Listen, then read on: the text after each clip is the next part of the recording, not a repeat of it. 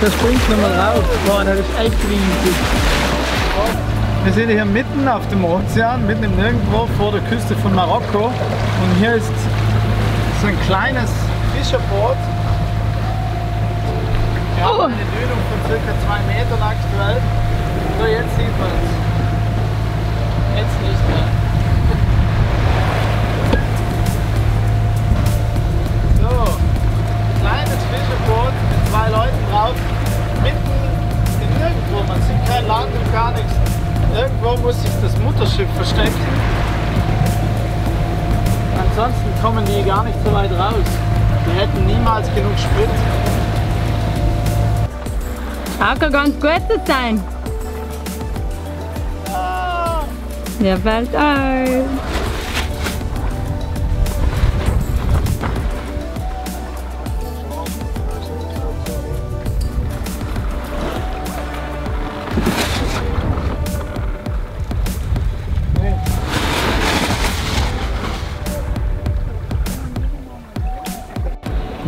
Morgen, Tag.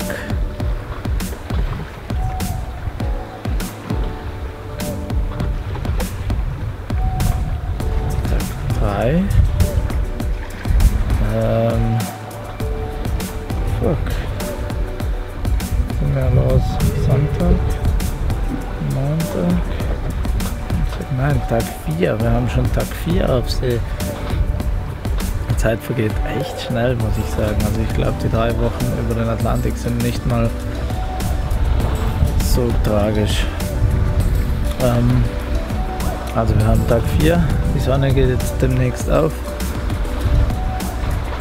Es ist endlich Winter. Wir haben zwischen 8 und 12 Knoten. Das heißt, wir können segeln. Der Wind kam über Nacht auf. Und alleine haben wir die Regel, dass keiner das Cockpit verlässt, nicht nach vorne oder nach hinten.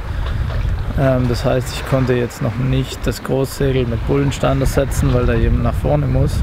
Aber demnächst wird jemand aufwachen und dann sind wir zu zweit und dann können wir das dazu nehmen. Aber wir sind jetzt schon mit viereinhalb Knoten unterwegs bei eben im Schnitt 10 Knoten Wind. Von dem her, passt eigentlich ganz gut. Ja, ansonsten sehr ruhig, sehr gemütlich. Ähm ja, man könnte es noch ein paar Tage aushalten, kein Problem.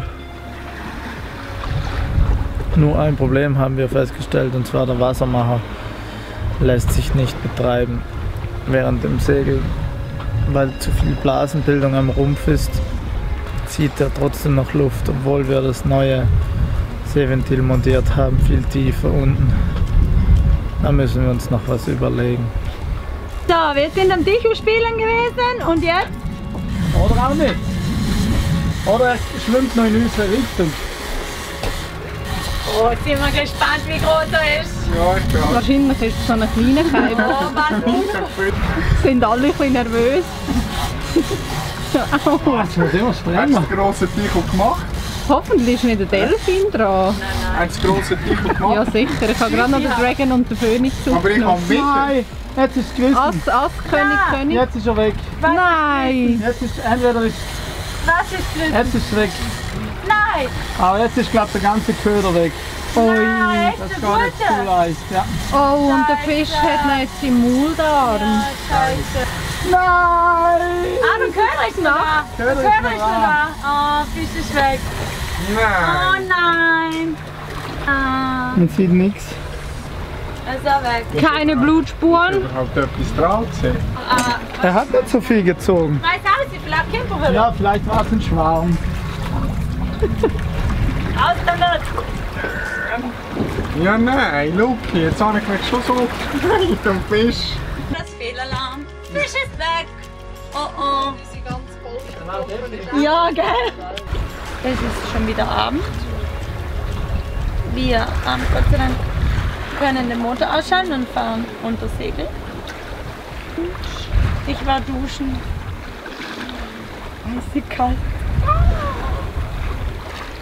Das Wasser hat 20 Grad, aber es fühlt sich an wie 10. Lach nicht, es war wirklich kalt. Ja. Ähm, Im Moment ist auch recht bewölkt. Leider wäre jetzt Primetime, also Sonnenuntergangszeit, aber wie man sieht, ist heute nicht so viel los mit Sonne. Den genießen wir jetzt so ein bisschen. Das ist eine Zehnerstunde drauf.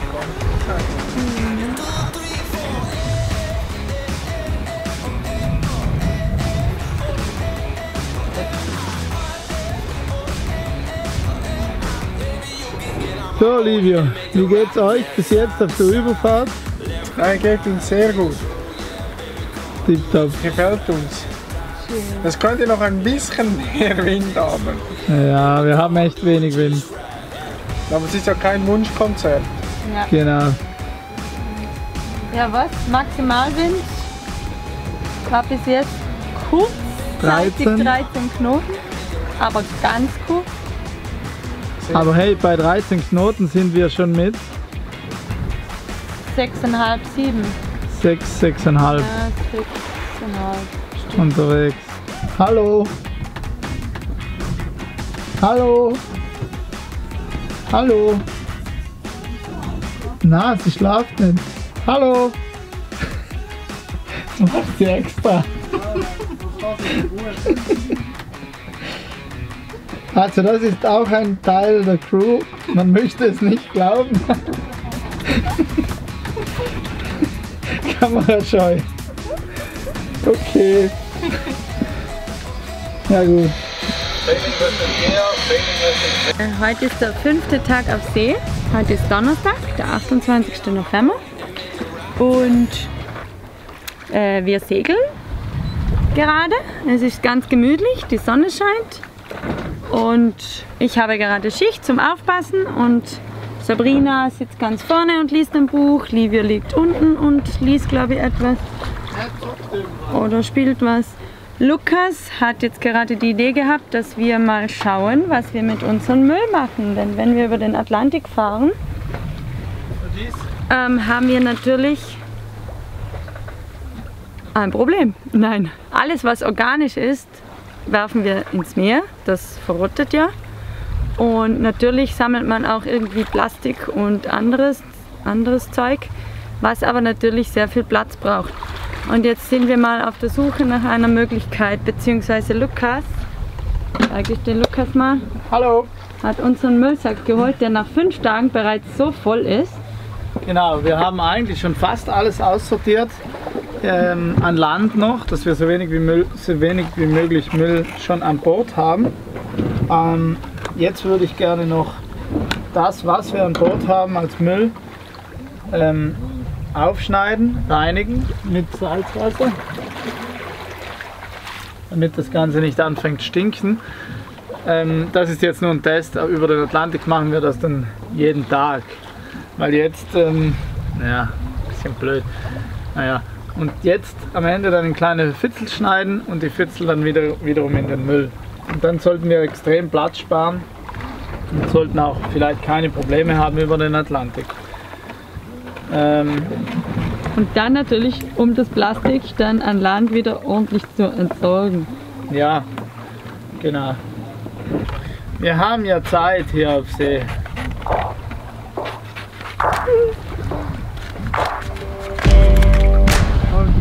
Wir.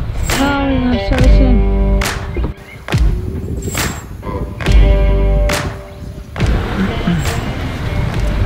Guten Morgen. Unser, unser le letzter Morgen auf See bricht an.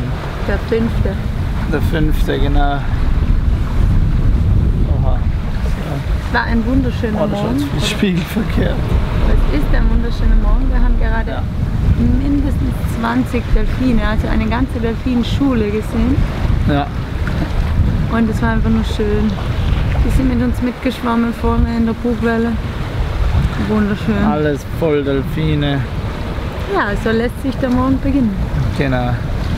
So Und hinter uns ist Lanzarote. Nein, vor uns. Moment, ich jetzt zeigen es euch. Neben uns.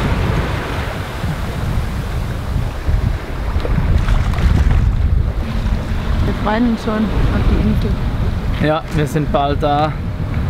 Am riesen Freude. Äh, die Marina hat einen Pool Oh. Ja, das stimmt. und endlich in der Wärme wieder. Also Oh, warm. Jetzt ist schon noch frisch, aber am Tag mit der Sonne wird es warm. Hoffentlich. Also, Und dann stehen noch ein paar Arbeiten an. mhm. Vorbereitung den Atlantik. Unser Autopilot ist leider, Ja. das ist ein hydraulischer Autopilot, der ist eigentlich nagelneu. Also nagelneu ist seit fünf Monaten im Einsatz von BNG und der ist, verliert jetzt schon Hydrauliköl, leider. Jetzt müssen wir das nochmal beheben, bevor wir den Atlantik, das Crossing angehen, weil Autopilotverlust wäre nicht lustig. By plane with identification 6 Tango Echo 11309. All vessels in the vicinity are requested.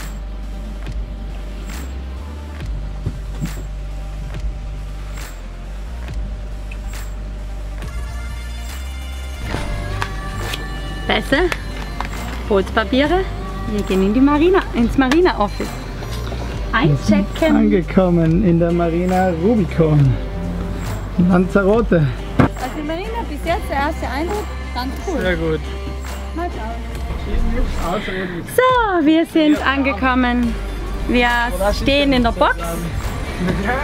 Ähm, Lukas kommt gerade von der Hafenmole. Ich erhole mich gerade von meinem ersten Crash. Er musste den Schock verarbeiten. Wir haben hier ähm, Also man muss dazu sagen, wir haben ein bisschen blöden Platz bekommen. Ganz am Rand. also, Also- Platz ist gar nicht blöd. Ja doch, zum Ein- und Ausparkieren ist so etwas doof. Ja, das einzig Blöde ist, die Hafenmole hier ist beim aktuellen Wasserstand ähm, höher als unter das Schiff, viel höher und gegen unten wird sie breiter. Und die breiteste Stelle hat sich unten hinten, hat hinten den Geräteträger durchgescheuert. Weil der Geräteträger hinten breiter ist wie das Schiff. Aber es ist fast nichts passiert, so eine kleine Schramme im Metall. Nicht weiter tragisch. Shira hat es überlebt. Sorry, Chira. Wir sind angekommen, jetzt wird erstmal ein Anleger getrunken. Cheers, cheers, Prost, Prost. Ja, sehr gut.